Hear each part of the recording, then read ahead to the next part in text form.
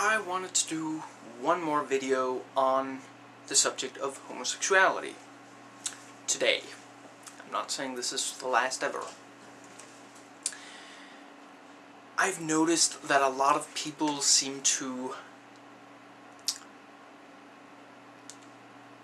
I mean the tone of some of the people it's like they think homosexuality is a crime or somehow inherently harmful. Let's just start with the fact that homosexuals are not necessarily pedophiles, nor are they necessarily rapists at all.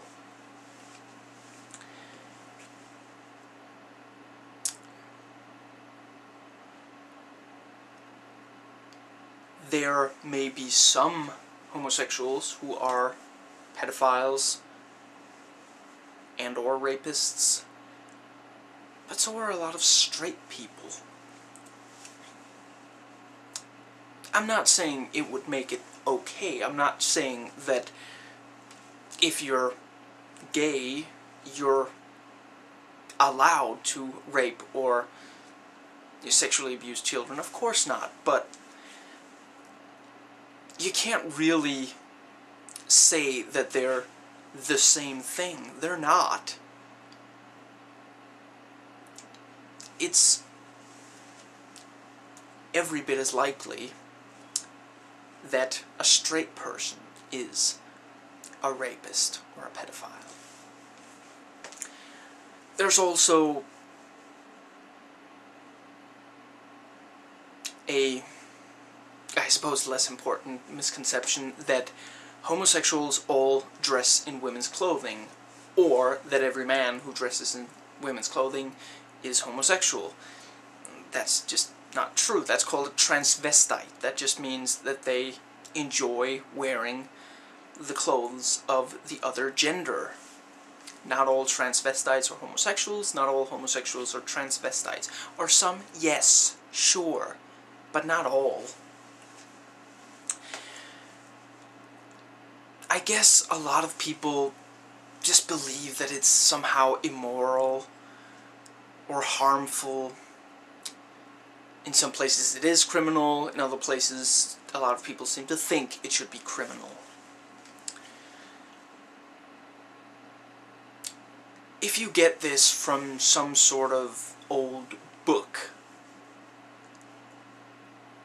I don't know, maybe I can't reach you other than to ask you to consider, you know, back then, back when, if you had 10 children, maybe 8 of them died. You know, back when you were old, when you were 30 years old, yes, back then it made sense to not like the idea that some of the people you're expecting to, you know, breed the next generation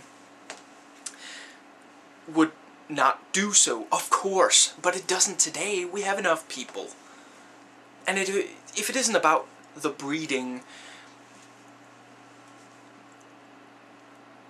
do you expect them to hurt the family? Why, exactly? I, I don't quite understand that argument do you think that just because everyone isn't a nuclear family that all nuclear families, or most, will suddenly disband? Do you think that it's that weak and fragile? If something is that weak and fragile, then it might not be the best thing. Let's say, as I believe a lot of people who care very much about the nuclear family believe, let's say that the nuclear family is the basis of a healthy society.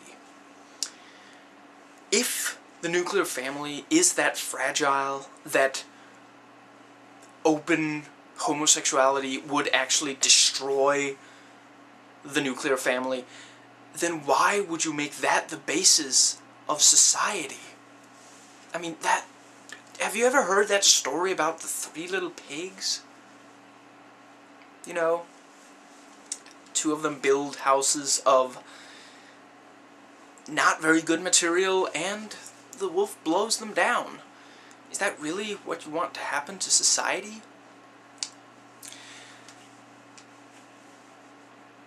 A lot of people seem to talk about homosexuality as if it is just by definition a bad thing. Like it is harmful.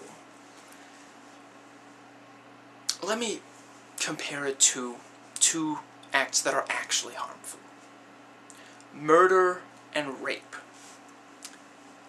Regardless of if you got this from an old book or just by thinking about it, murder and rape are, objectively speaking, harmful activities.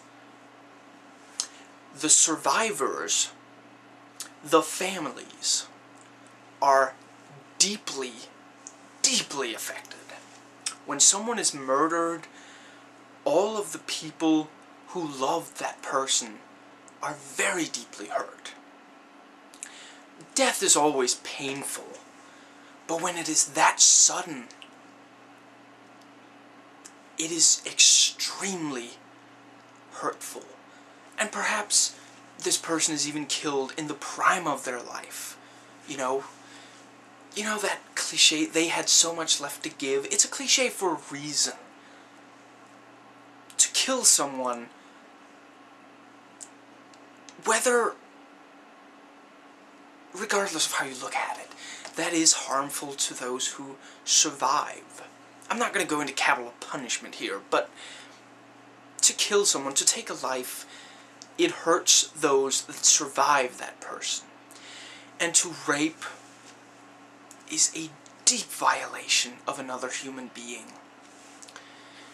And the family, I mean, regardless of if the person survives or not, the family is going to be deeply affected. And if the victim survives the rape, they may have to deal with it for the rest of their life. These are two definitively harmful actions.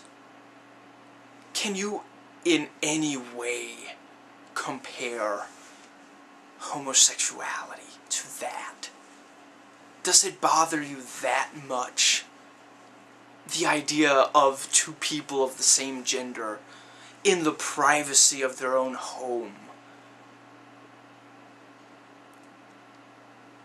Having sex. Is, is that really that big of a deal?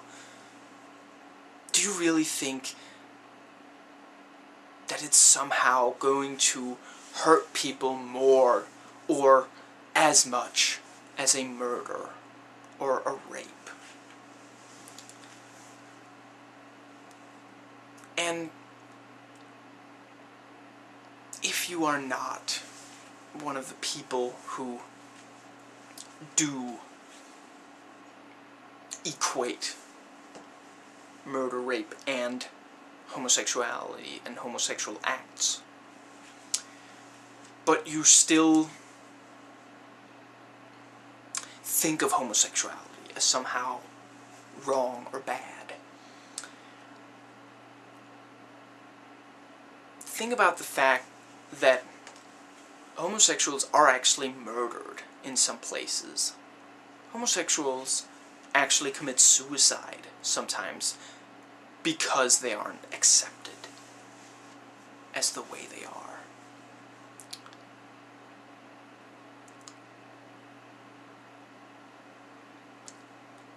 I just think that should really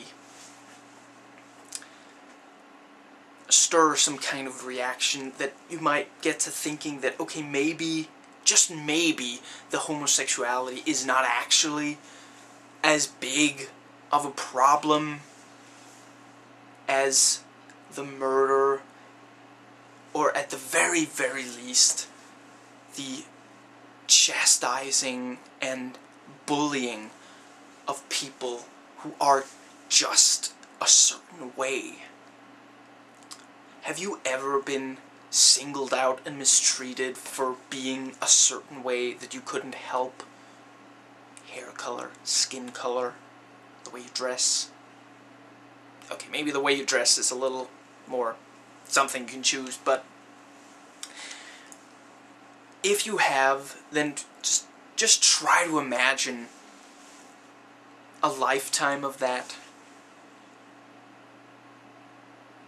Try to imagine that it's constant, you know, not just at the school or you know wherever you were bullied for. And I'm not trying to downplay any other victims of bullying, you know.